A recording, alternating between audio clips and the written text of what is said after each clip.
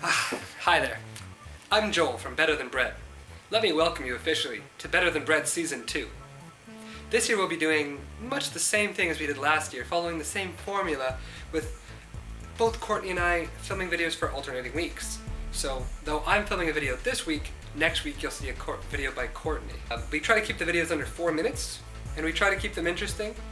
To any viewers who are returning from last season, who are still watching, thank you very much for watching. I know I know quite a few people who are still tuning in to check out our videos, so thanks to all you guys. For those of you who may be wondering what Better Than Bread is, in case you've forgotten, um, my friend Courtney and I have been, well, we've been really good friends since grade 9 in high school. Um, she went away to New Brunswick for university last year, so these videos are a way for us to keep in contact with each other. So what will the videos be like this year? Um, I was kind of going through some of my old videos, some of the ones that I did from last year, and realized that it came across as um, a little overbearing. I'm gonna be honest.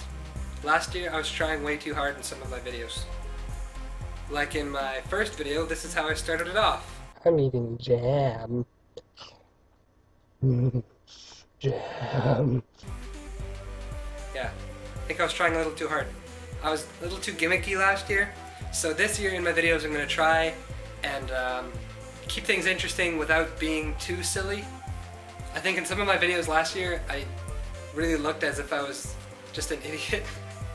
so this year I'm going to try and act a little more intelligent.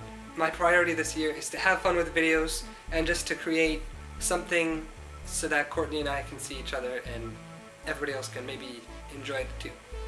This year is my third year in university and I've already found it challenging in that it seems like it's a big step up for the amount of reading and the amount of work. So all that means is that I'm gonna keep my videos under four minutes and the only other thing I wanted to say was that um, I kind of threw together that intro for this video. Um, I'm using Windows Movie Maker again rather than Sony Vegas. I'm finding it a little limiting. So by next video that I do, so two weeks from now, I'm going to throw together a really cool new introduction, including a lot more of the footage from our past videos. Your gift for this week is a jackalope. They do exist. They do. Uh, so yeah, we'll see you guys around. Nice to have you back on board for Better Than Bread. Toodles.